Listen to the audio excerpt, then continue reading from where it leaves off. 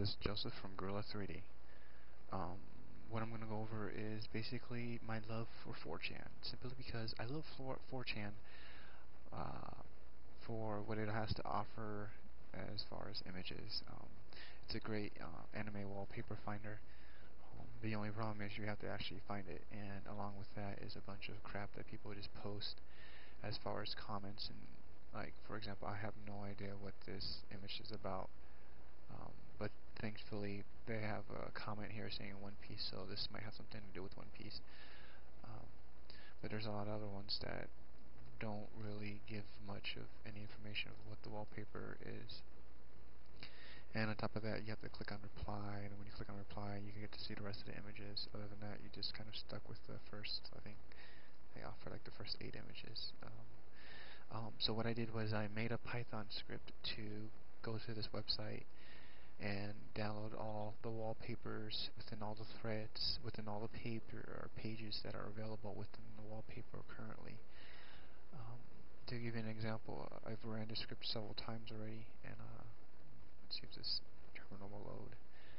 Um, so I ran this several times, and I see that it says python 4chan.py and uh, the amount of times or amount of savings between each one of them are varies because once it downloads an entire thread of and, and all those images it'll go back and check for that thread for new images but it won't download the, the ones that have already downloaded so it won't take up too much of your time.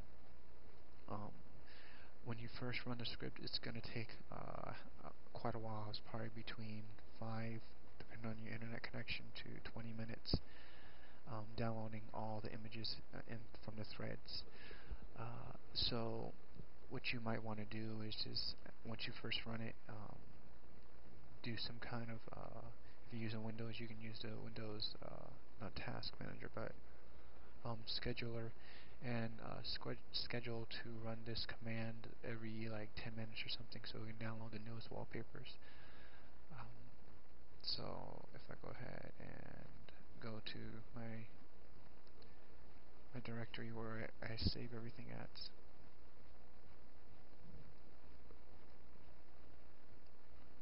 Nice. Okay.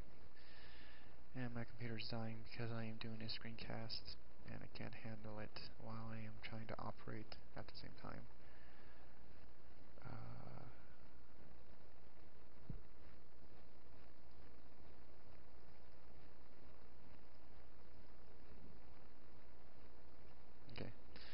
So this is where I have all my images um, being thrown at right now. And uh, first you don't actually see all the images, you just see a bunch of folders and each folder represents a thread.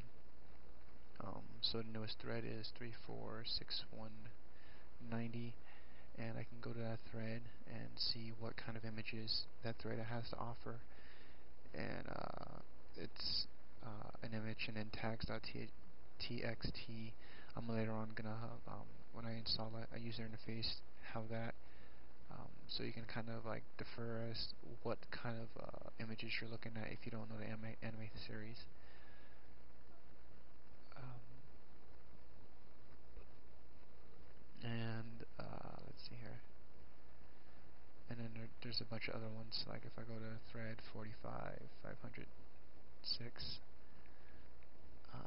should see a, a, lot more images here since it's an older thread and older threads usually have more images so as you see there's a bunch of more images and these aren't the thumbnails these are actually the full image size of so you don't have to actually go there and right click or do anything uh, as far as going back to the website and trying to download the wallpaper um, you know it's a really helpful tool for me as far as just gathering uh, anime wallpapers. Something I might actually do is use this for my website and just do like a 4chan cache and then um, try to find duplicate images. Like for example, this image and uh, this image over here is basically the same except one has text and the other doesn't.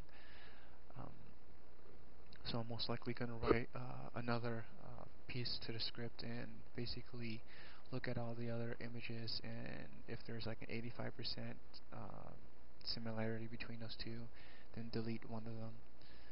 Um, and that's pretty much it. I'm gonna have the script up to download on my website.